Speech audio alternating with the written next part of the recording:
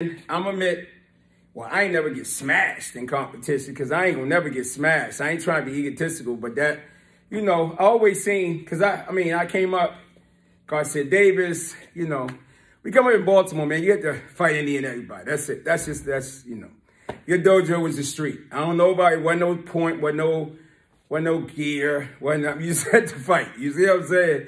And, um, so when I first got my junior gear, that was cool, man. You know, so I had to tone down our fighting. But even back then, man, it wasn't no tone down. Even in competition, you probably you probably got a point after they said stop because your point was more solid than the guy that hit you before they said stop.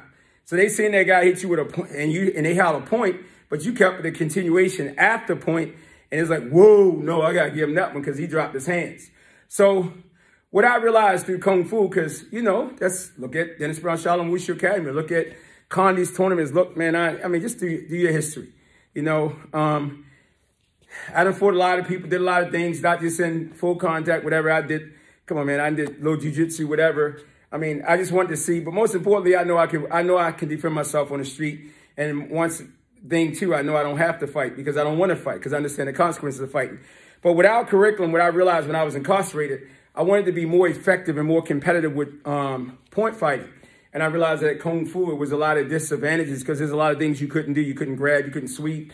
You know what I'm saying? You couldn't do no guat tie sweeps, you know what I'm saying? There's a lot of things we couldn't do. So I had to adapt and understand what you could do and align that in a manner that was safe and wholesome to what we were able to do. So, you know, some of the things we always did in practice. You know, we understand angles are important, you know, so we angle reach hand, you know what I'm saying? We we understand that angle, reach hand to the body. You know, that's a nice little drill. Angle, you know what I'm saying? Reach hand low. I can angle, reach hand high. I can angle, angle reach hand. See that? Boom, coming down like that, okay? I can angle, reach hand here, okay?